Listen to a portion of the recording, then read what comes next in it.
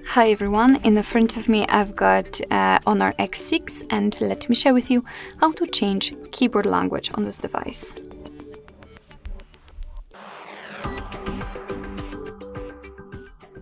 So first of all, we have to open the app which will provide us with a keyboard. So for example, messages, notes, browser, whatever, just have the keyboard on the screen. And as you can see, um, right now we've got the keyboard. All we have to do, first of all, is to find the settings which are not here in this panel. So let's tap on the three dots icon and enter the settings. Of course, you can reorder the, mm, the icons and just change the position of them so you can just so you can just um, set the settings on this first panel, however, I will not do it right now. Right now we have to enter the languages, and as you can see, we've got two different lists. So first of all, your languages, so those which are currently applied, and pre-installed languages from which we can choose. If you cannot find your language here, no worries, because under it we've got all languages, uh, so you will be able to find it. Um, and basically this is what we have to do. So just find the language and tap on it. I will pick Greek. Um, and after getting back to the very top of the list, you can see that the Greek is right now uploading to our languages. Uh, here we've got the layouts.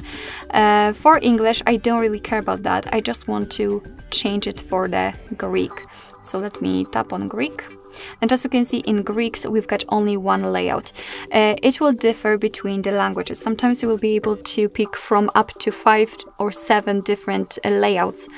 So, um, so yeah, so it depends.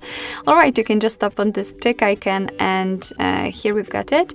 Right now we can go back to the keyboard or whatever and as you can see, um, we've got a difference here. So the spacebar, basically, it uh, right now it is not empty anymore and we've got the name of the language we're currently using because we've got two applied.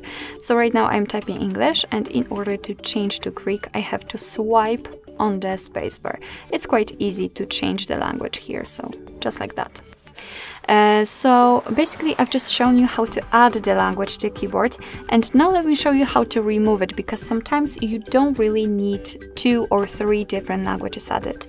Of course you can do it at the same time when you will add new one, uh, but I forgot. so let's enter the settings again, uh, the languages. And here, uh, all we have to do in order to first of all disable the language is to tap on the switcher. And from now on, if I will get back to the keyboard, only English will be available. If you want to remove the language from this list of your languages, you don't want to have it here, just long press to delete. Confirm. And that will be all. So thank you so much for watching, I hope that this video was helpful and if it was, please hit the subscribe button and leave the thumbs up.